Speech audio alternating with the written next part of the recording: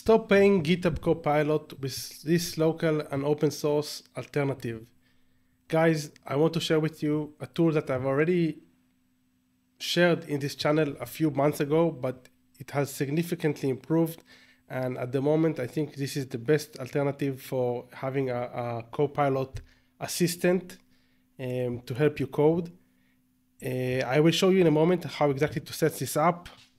If you're using, if you have a GPU, we are going to use Ollama, and if you don't have GPU, we can use Groq and connect via API and have this um, amazing GitHub uh, Visual Studio Code extension work for us.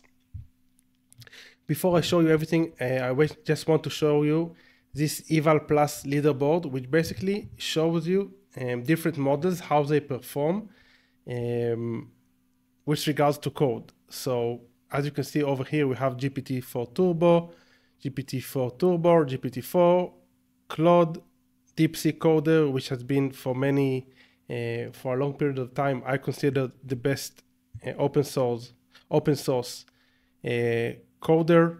But now, I, I mean, I didn't know about CodeQwen 1.57b chat, which seems to be pr producing amazing results. As you can see over here in this specific test, it produced a score of 78.7, which was higher than Claude Opus and slightly lower than GPT-4s. Obviously, GPT-4 Turbo, the new version, yielded better results. But as you can see here, in a different model, in a different uh, type of test, it also yielded pretty good results. And this is amazing if you would like to run this code locally with a small model and keep everything private. So this is the GitHub, this is the Hugging Face page of this specific uh, model. So as you can see, CodeQwen is a code-specific version of Qwen 1.5. It is a transformer-based decoder-only language model pre-trained on large amount of data of codes. So it has strong code generation capabilities and competitive performance across a series of benchmarks. It supports long context understanding and, and generation with context length of 64,000 tokens, and it supports nine. It supports 92 coding languages, excellent performance in text to SQL, bug fixes, bug fixes, etc. Now, um, in order to use this code in Visual Studio Code, we are going to leverage and use Continue. Continue is a GitHub is a Visual Studio Code extension which you can install right here.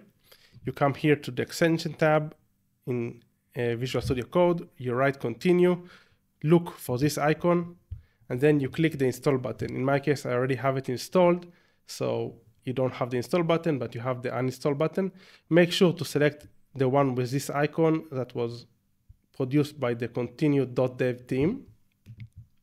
If you're interested to learn more about Continue and how to um, get started with Continue, basically you can also come to the website and just click a button and it will automatically uh, install it in Visual Studio Code. As you can see here, you can also install it on JetBrains, which is a different IDE. Now, um, let's cover how to use Continue. So basically, Continue is allows you to generate code, edit code, um, refactor code very easily. You also have the auto completion code suggestions ability, refactoring, asking questions about specific code base. So you can take a documentation or you can take a specific code and ask a question about it and continue.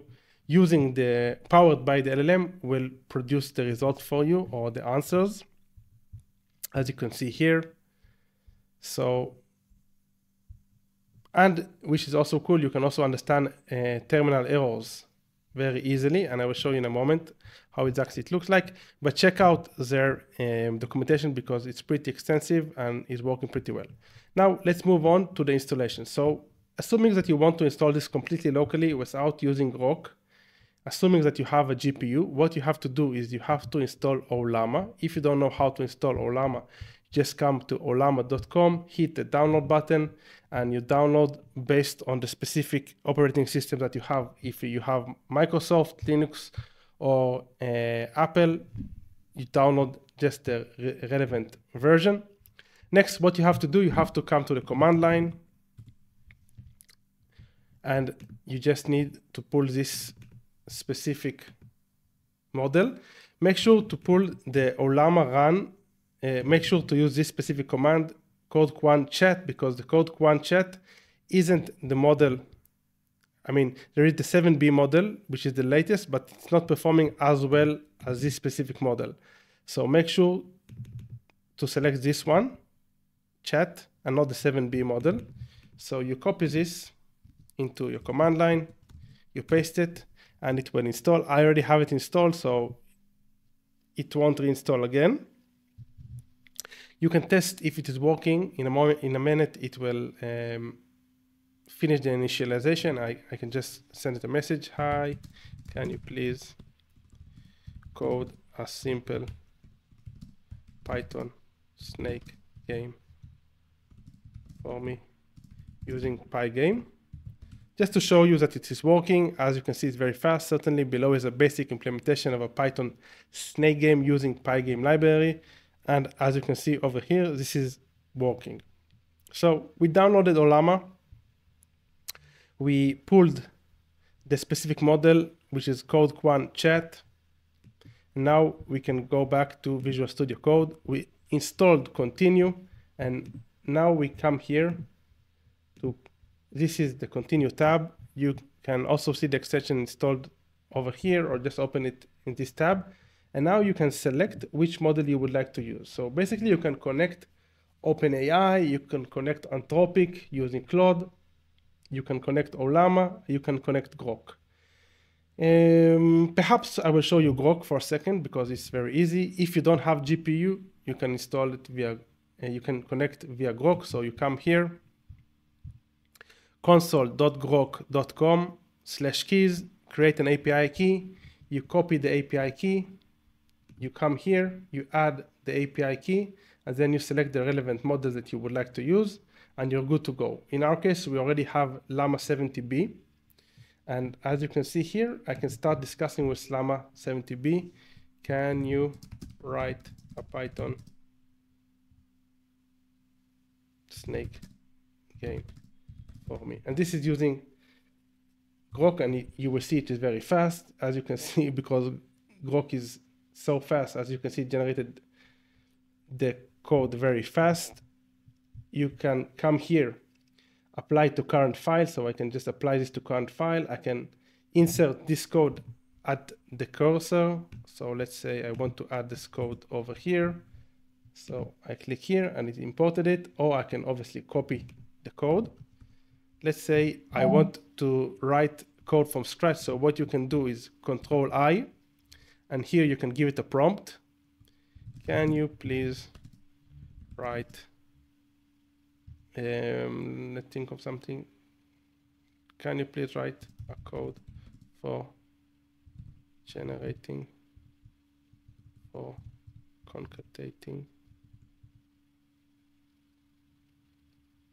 for concatenating to audio files.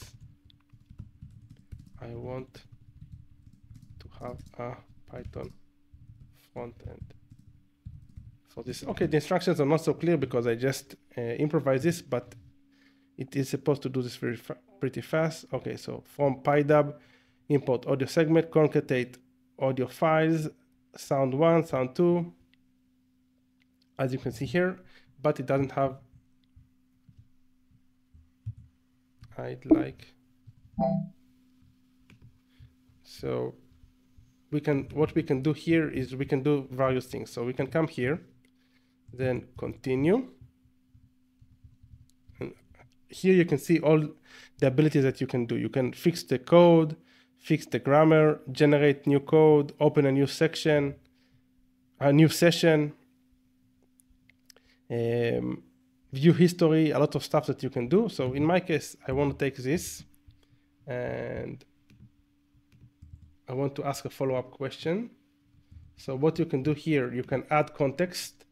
So based on the context that you provide, you can ask questions. So let's say I want this file to be as the context. So this is the context. I want a front end GUI for this. So it created a, this is what I expected. It, it, it uh, created the front-end GUI with the tkinter or however you pronounce this. So what I can do here, I will just copy this, paste it here, and let's run this code, see what happens. I'm missing pip install PyDub.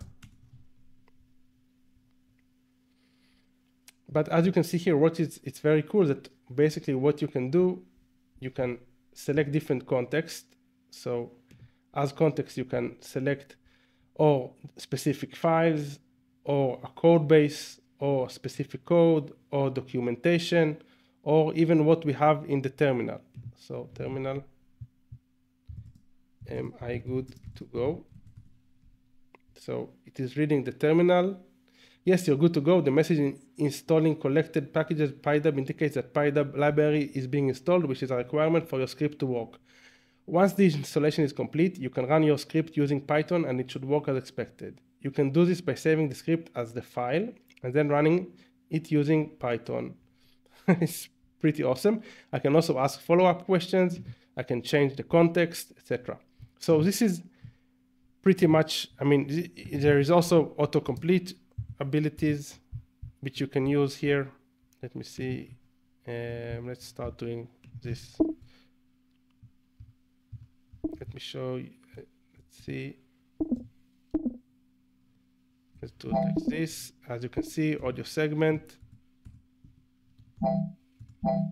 It knows how to autocomplete. Basically, just hit the tab button whenever it, it's just something. I can just hit the tab button. Let's copy this again. Let's no. Let's say let's say this file. I need your help with finishing this file.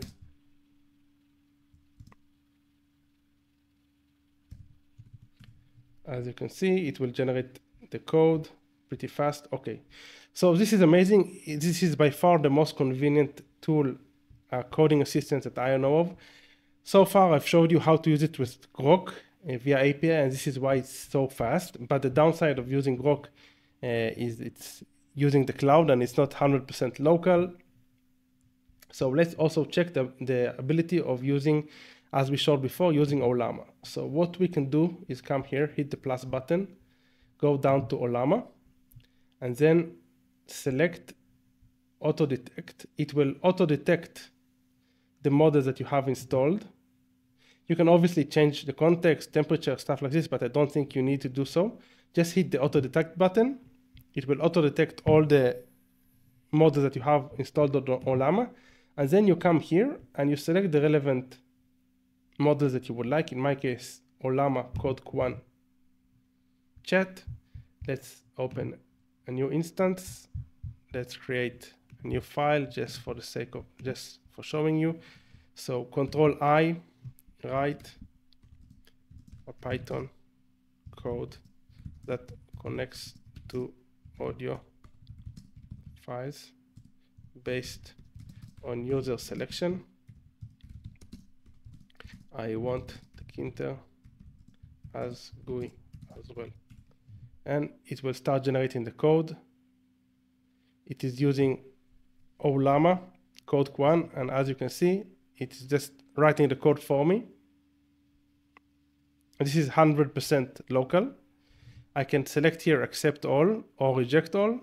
So let's say accept. Now um, let's do like this. No, I want to select the other file, the new file, which I haven't gave it a name yet. Let's let's save this.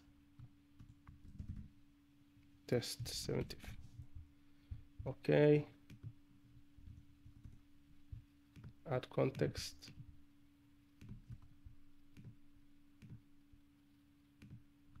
can you write a documentation for this code just showing you the abilities certainly here's a detailed description of what the test py script does So this is the documentation.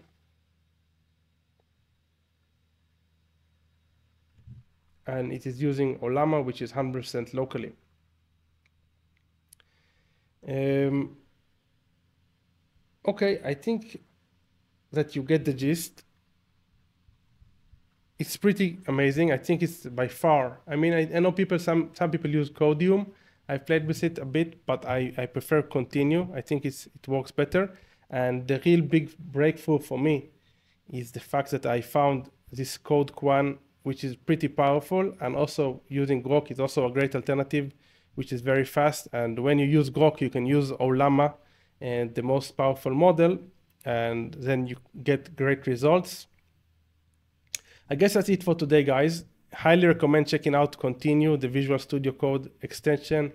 Obviously, if you don't have Ollama yet, uh, make sure to download Ollama and start using it and check out this amazing uh, model CodeQwen 1.57b chat. If you have any questions or comments, please leave them in the comment section below. If you enjoyed this video, please like and subscribe. Obviously, if you can share the video with your friends, it would be amazing, highly appreciated. And until next time, keep on automating.